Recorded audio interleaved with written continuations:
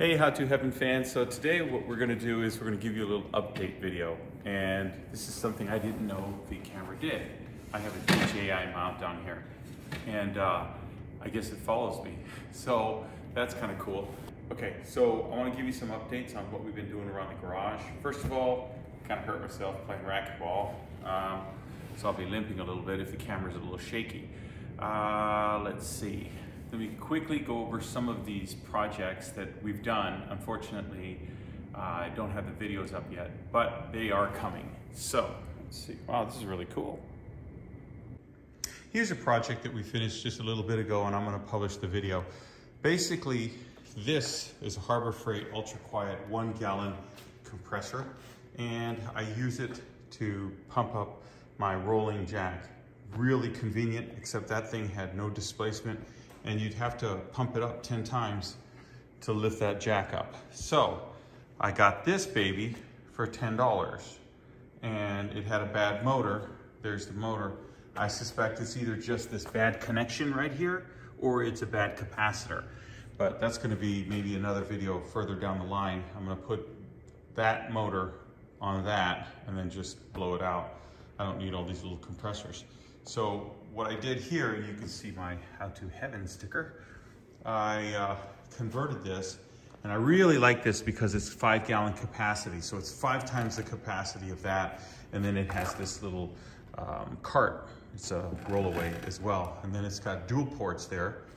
And we come around this way and here's what I did. I mounted that little ultra quiet motor I made that fitting right there, TIG welded it. I couldn't find uh, another fitting to convert these air hoses. I went everywhere, Grainger's, Home Depot, Ace Hardware. So that's a project that we have recently done. And let me show you something else. Oh, I'll probably include a couple snippets of this cart here. Pick this cart up. My son's uh, in the automotive field, so he needed a cart to kind of haul around his materials when he does oil changes and things like that. So that was just a simple sticker deal. And uh, let me show you one more thing. This is gonna be an upcoming video on the basics of a kegerator. Picked this up and uh, reconditioned it, got it all up and running, and in the process, learned a lot about kegerators. So I'm gonna make a video on kegerator basics coming up as well. So in my quest to get the ultimate oxyacetylene rig, I've acquired some tanks and um, other things. And I'm gonna turn this cart, which is a dolly, into a custom oxyacetylene rig for the garage. Uh, you just can't find one. I had one that was actually a commercial unit. Uh, the tanks were about five feet tall. They were really big. I ended up selling it because they would expire before I could even use them. And then I went to the Turbo Torch, which was too small, and I ended up with this size rig. I also bought that one over there, but that's too small as well. So I think this is the perfect size for what I do around here. Heating, cutting. I still have a, I have a plasma cutter, but sometimes you just use oxyacetylene.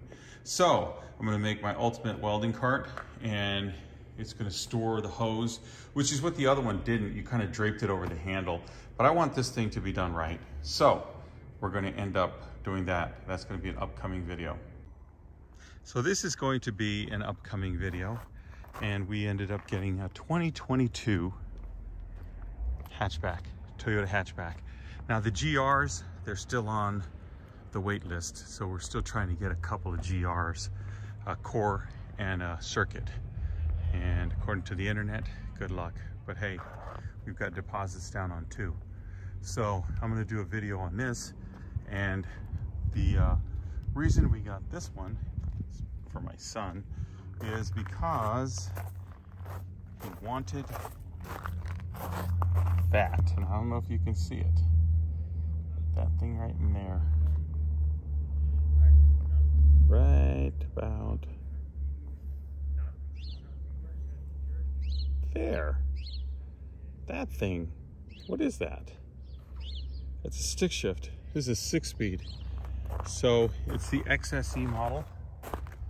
It's pretty well equipped and I'll do a video on this later. Okay, so that's the update for today. And hey, I really like this. So we're gonna be doing those videos. Some of them just need to be edited and then some of them I need to make. So the next up is gonna be that welding cart or maybe the XSE hatchback with a six-speed manual. So stay tuned and we'll see you guys next time. Thanks for watching.